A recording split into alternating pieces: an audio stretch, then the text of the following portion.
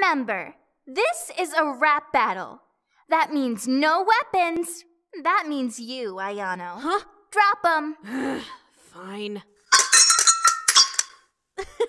All of them. Mm. All right. Ahem. Epic rap battles of Akademi.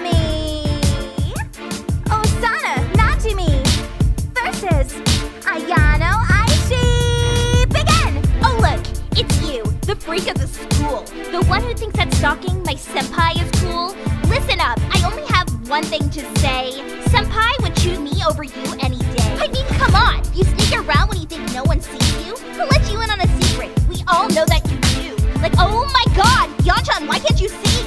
You'll never get senpai. He belongs to me. Every time you flap your lips is another brain cell fizzing out. I swear on my senpai that I will knock you out. You swing your hips and pout your lips and think you're being sly. When you hide your precious feelings about loving senpai. Do you even really love him? You don't act like you do. You whine all the time and place the spotlight on you. You always keep me waiting. Yeah, that will get his love. I'd give him more affection than he could ever dream of.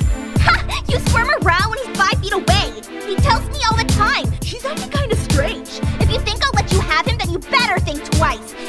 Take long before I stop being nice. Do you really think you scare me? I know it keeps you up at night. If you want to make this bloody, I've been itching for a fight. I'll trank you and tie you to a chair and break your mind. Or maybe I'll just stab you. Yeah, that'd be fine. You don't scare me. I can though. what do you know? I know that you should probably keep an eye on your bento. What the? It's poison. That bento was for Senpai. I'll let you give him gifts when fat pigs fly. Senpai will never love you. You're weird and you're a freak. I don't think he'll complain when he gets me in the sheets.